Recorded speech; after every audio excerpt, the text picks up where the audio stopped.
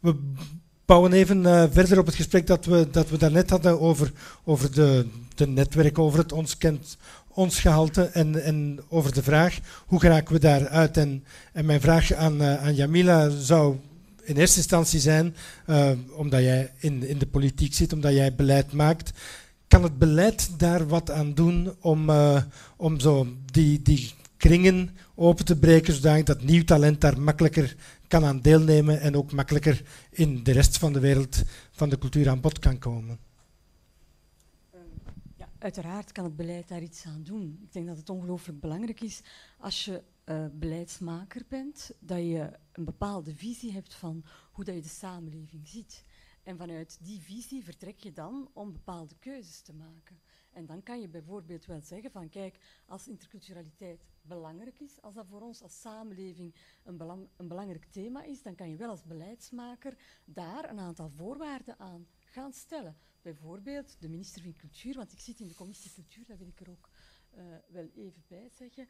De minister van Cultuur zou bijvoorbeeld kunnen zeggen in de overeenkomsten die ze moet uh, oh, de microfoon een beetje dichterbij. In de overeenkomsten die ze moet afsluiten met uh, belangrijke instellingen, zoals het Vlaams Fonds voor de Letteren of andere kunstinstellingen, dat men kan gaan zeggen van oké, okay, er moet, een van de voorwaarden, als ik subsidie wil geven, moet er aandacht zijn voor dat uh, thema. Maar je gebruikt de voorwaardelijke wijs. De minister zou dat kunnen zeggen. Zegt de minister dat?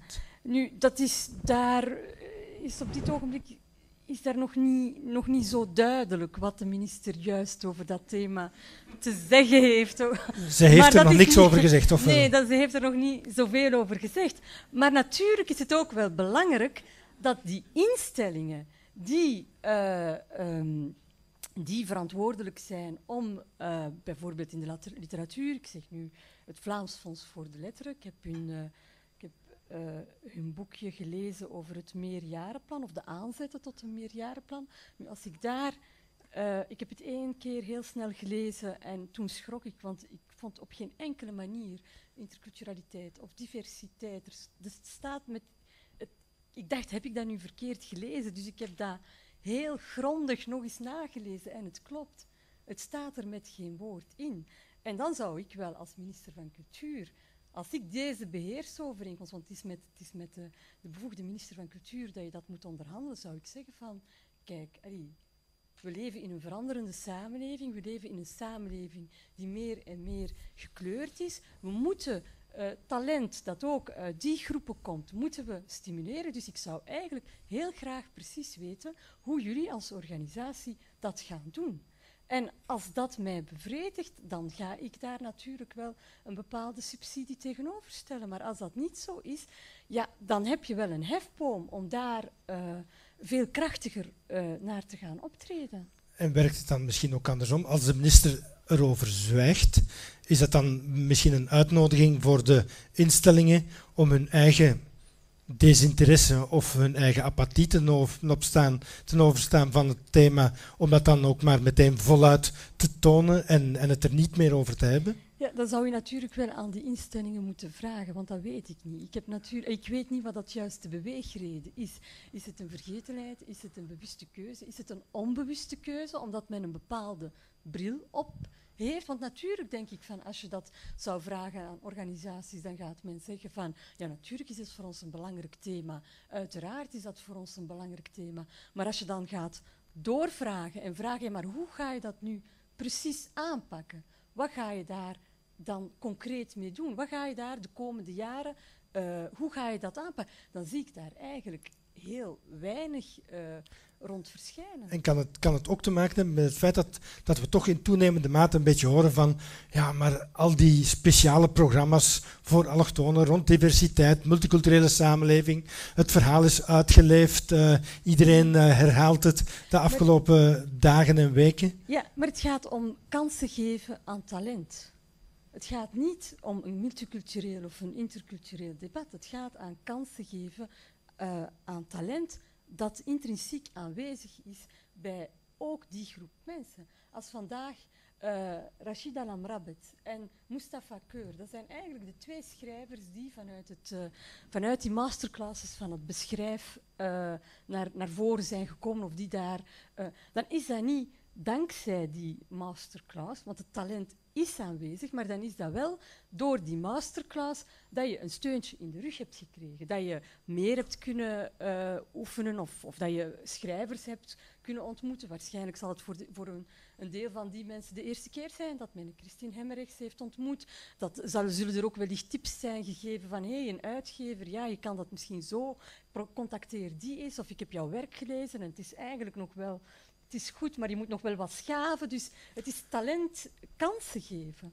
En niet het, debat rond uh, multiculturaliteit. Dus jij zegt dat heeft er zo weinig mee te maken dat, uh, dat het feit dat het niet in dat plan staat, dat, dat kan niet te maken hebben met een soort algemene vrevel met, uh, met het multiculturele discours.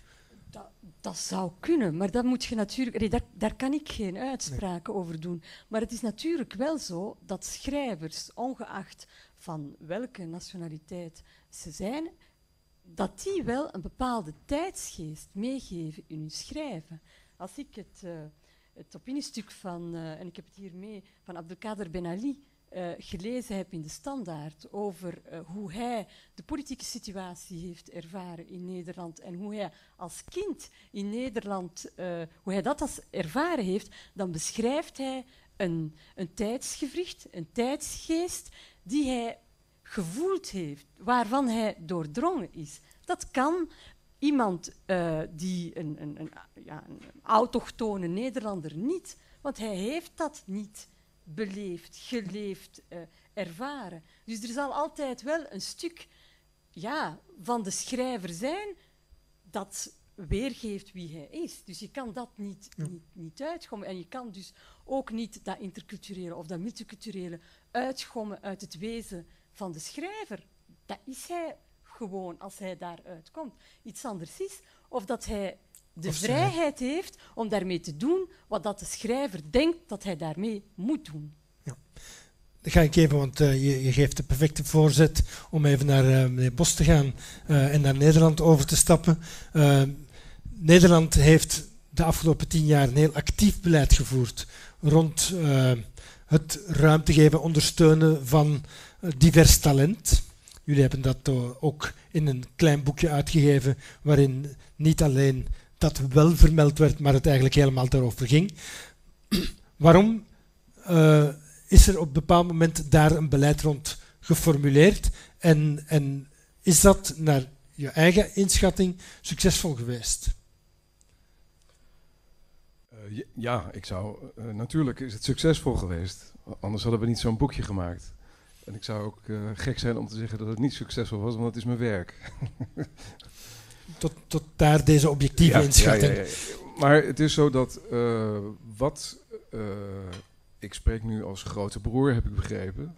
Nee, als de, degene die tien jaar geleden iets deed wat wij vinden dat nu eigenlijk in Vlaanderen ook wel eens misschien zou mogen. Ja, dat zou zeker. Kijk, het is zo, ik ben niet bij het begin daarvan betrokken geweest. En het begin van uh, het intercultureel beleid of het cultureel diverse beleid, of hoe het heten mag, dat doet er verder niet zoveel toe.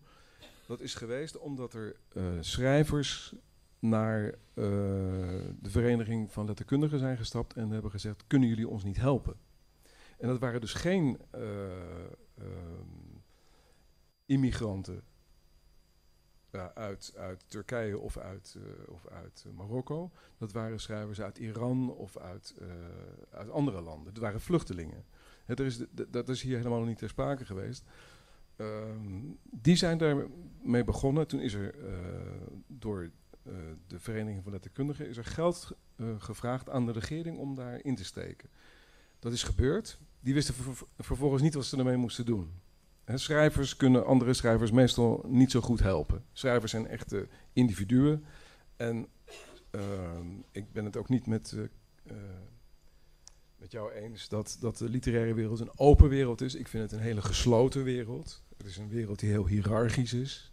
Met bovenaan... Harry Mulisch. Was Harry Mulisch, maar niet weer iemand anders.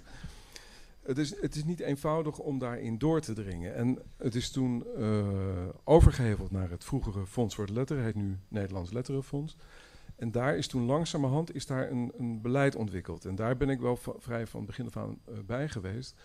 En uh, het belangrijkste van de kant van, van, de, van een instantie of van de, van, de, van, van de staat zou je kunnen zeggen. Ik bedoel, ik, ik voel me niet de staat, maar belangrijk is wel dat er, een, dat er iets gebeurt. Dat mensen, uh, dat, dat een instantie iets aanbiedt. En dat, en dat bestond waarin exact dat aanbod? Dat aanbod bestaat uit het volgende. Het is heel simpel. Een schrijver of iemand die denkt dat hij schrijver uh, kan worden, die meldt zich eigener beweging bij het fonds. Die moet hij wel weten dat het er is natuurlijk, maar dat is een ander verhaal. Die meldt zich en dat maakt niet uit in welke taal die schrijft. Dat mag in, uh, in het Mongools, in het Chinees, in het, uh, in, in, het Dari, uh, Afghaans, in het, of in het Nederlands. Hoe gebrekkig dan ook. En dan gaat er iets in werking treden. Dan wordt het dus onder, de, onder, de, onder de kwaliteitsloop gelegd. Er, komt hier, wij ondersteunen niemand die iets levert wat niks waard is. Dat, dat gebeurt niet. Dat wordt onmiddellijk teruggelegd. Dus in de, in de afgelopen jaren zijn er 150 uh, schrijvers of schrijvers in spe geweest die, die, zich gemeld hebben.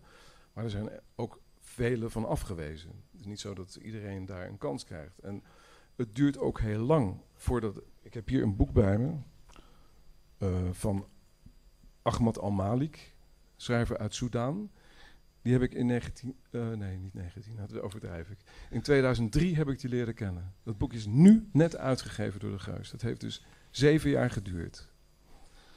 Uh, ja, dat wil zeggen dat het niet zo eenvoudig is. Die man schreef in het, uh, of schrijft nog steeds in het Arabisch. Het boek was uitgegeven. Maar dan nog, voordat het dan op de Nederlandse, in de Nederlandse boekhandel ligt, dat duurt erg lang. En dan was het ook nog een uitgever die tamelijk welwillend is. En misschien kan ik even doorstoten naar iets wat ook heel belangrijk is. Dat is niet alleen dat een, een fonds uh, of, een, of, een, instelling die daartoe geëigend is, die daar de, de, de, de, kwaliteit over heeft, die dat ondersteunt, maar ook dat, dat anderen dat doen, dat ook uitgevers dat doen. Want ik vind wat jullie hier zeggen, dat uitgevers openstaan voor, uh, uh, voor, voor migranten, immigranten, ik vind dat is niet mijn ervaring in Nederland. En dat is, ik weet niet, ik, ik, ik durf niks over België te zeggen, ik kijk wel uit.